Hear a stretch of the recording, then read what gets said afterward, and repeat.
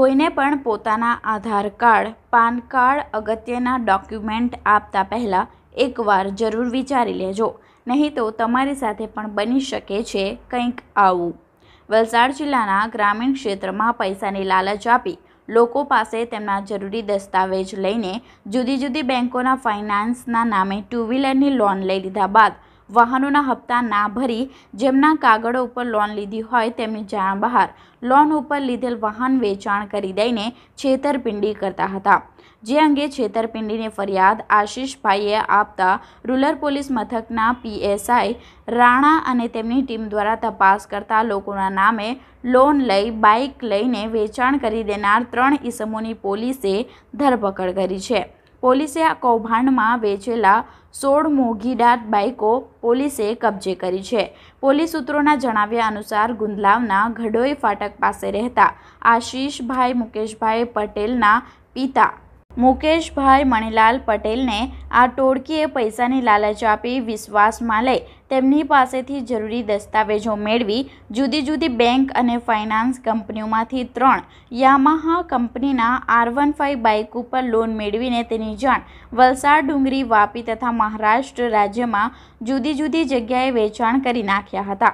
તેમજ તેમના પાડોશમાં રહેતા અશોકભાઈ સુમનભાઈ પટેલના નામે એક બજાજ પ્લેટિના મોટરસાયકલની લોન પણ કરી નાખી હતી. આ સમગ્ર હકીકતની જાણકારી ત્યારે બહાર આવી જ્યારે બેંકના રિકવરી ઓફિસર લોનની રિકવરી મેળવવા માટે તેમના ઘરે પહોંચ્યા હતા. પરંતુ તેમણે કોઈપણ બાઇક માટે લોન લીધી જ ન હતી, તો પછી રિકવરી ઓફિસર તેમને ત્યાં કેવી રીતે પહોંચ્યા હતા? આ અંગે તપાસ કરતાં માલુમ પડ્યું કે તેમના અવસાન પામેલા પિતાના નામે કેટલાક કાગળો દ્વારા લોન લેવામાં આવી હતી અને તે અંગે તેમણે રૂરલ પોલીસ મથકમાં ફરિયાદ કરી હતી. જે બાદ રૂરલ પોલીસ મથકના પીએસઆઈ હમીરાજસિંહ રાણા અને તેમની ટીમ દ્વારા તપાસનો દોર શરૂ કરતા પોલીસે આ સમગ્ર કિસ્સામાં વિજય ઓમકાર વિઠ્ઠલભાઈ પાટીલ, રહેવાસી Nani Daman, Kharivad, Sagar apartment room number છસો એક તથા તેના સાગીરક મયુરભાઈ, અમૃતભાઈ, છોટુભાઈ ધોળિયા પટેલ, રહેવાસી કાંજણહરી પશ્ચિમ કોળીવાડ ફળિયા તેમજ અંકિત વિનોદભાઈ પટેલ, રહેવાસી જુજવા મિલ ફળિયા જેઓ દ્વારા ગ્રામીણ કક્ષાના ભોળા લોકોને ગ્રામજનોને પૈસાની લાલચ આપી. વિશ્વાસમાં લઈ તેઓના જરૂરી દસ્તાવેજો મેળવી લઈ જુદી જુદી બેન્કોમાં ફાઇનાન્સ કંપનીઓ માટે ટુ વ્હીલર વાહનો લઈ આ વાહનોના હપ્તા ન ભરી તેઓના નામે લોન હોય તેમની જાણ બહાર અન્ય જગ્યાએ વેચાણ કરી ગ્રામજનો સાથે છેતરપિંડી કરી હતી. આ કિસ્સામાં પોલીસે અત્યાર સુધીમાં છેતરપિંડી કરીને વેચાણ કરેલા સોળ જેટલી મોઘીદાટ બાઇક જેની કિંમત ઓગણીસ લાખ ચોર્યાસી હજારનો મુદ્દામાલ પોલીસે કબજે કર્યો છે. સાથે જ આ સમગ્ર છેતરપિંડીમાં સામેલ અન્ય લોકોને પણ શોધખોળ શરૂ કરી છે. જેમ કે વિવિધ બેંકોમાં તેમને લોન અપાવનાર કર્મચારીઓની કોઈ સામેલગીરી હોય તો તેવા શખ્સ તેમજ તેમની પાસે બાઇક ખરીદનારાઓ જેઓની ખબર હતી કે બીજાના નામ ઉપર બાઇક લોન લેવામાં આવી છે અને તેમને આ બાઇક વેચવામાં આવી છે. તેમ છતાં પણ તેમણે બાઇક ખરીદી હોય તેવા લોકોને પણ પોલીસે શોધખોળ શરૂ કરી કાર્યવાહી કરવા માટેની કામગીરીના ચક્રો ગતિમાન કર્યા છે.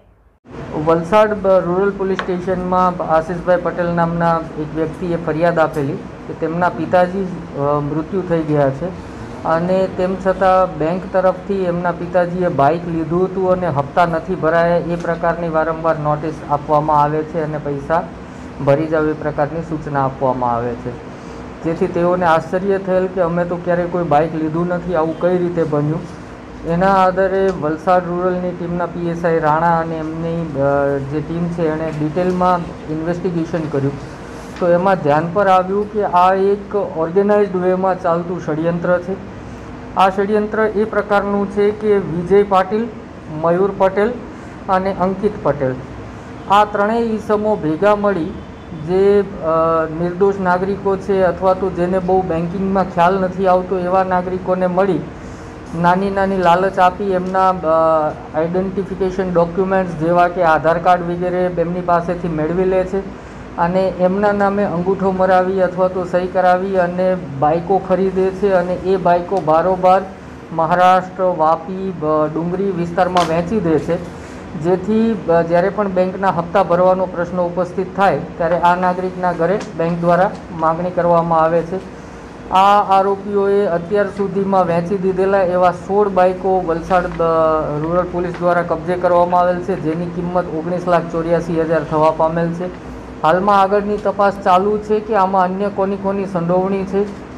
જે નાગરિકોએ વહેંચ્યા એ પૈકી કોઈએ પૈસાની લાલચ રાખી અને ગુનામાં મદદગારી કરી છે કે અજાણતા ગુનાનો ભાગ બન્યા છે? જે બેંકે લોન આપી છે અને જે બ્રોકર આ લોન સિસ્ટમમાં વચ્ચે હતા, એ બ્રોકરનો આમાં કોઈ મેળાપીપણું કે ગુનાહિત કાવતરામાં ભાગ છે કે કેમ, એ તમામ બાબતો તપાસ હેઠળ છે. આ સોળ ઉપરાંત અન્ય કેટલા વાહનો વેચ્યા છે તે બાબતમાં પણ વલસાડ રૂરલની ટીમ હાલમાં કામગીરી કરી રહેલ છે. હાલમાં બાઇકો રિકવર કરવાની સાથે સાથે એના તમામ માલિકો જેની પાસે આ બાઇક કબજામાં હતી એને નોટિસ પાઠવવામાં આવેલી છે.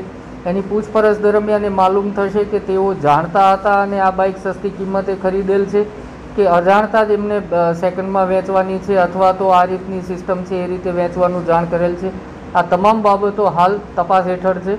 એક વખત એ લોકોને પૂછપરછ થઈ ગઈ આ બાબત, આ બાબતમાં ક્લેરિફિકેશન થઈ શકે. કે આમાં જો કોઈ નાગરિકના ખોટી સહી થઈ હશે ખોટા અંગૂઠા મારી દેવામાં આવેલ હશે અથવા તો બેન્કિંગ સિસ્ટમ પ્રમાણે જેને લોન આપતા પહેલાં પ્રી વેરિફિકેશન કરવાનું હોય, એ પ્રી વેરિફિકેશન પ્રોપર નહીં કર્યું હોય, તો એમનું પણ મેળાપીપણું હશે, તો એમના વિરુદ્ધ પણ કાયદેસર કાર્યવાહી કરવામાં આવશે.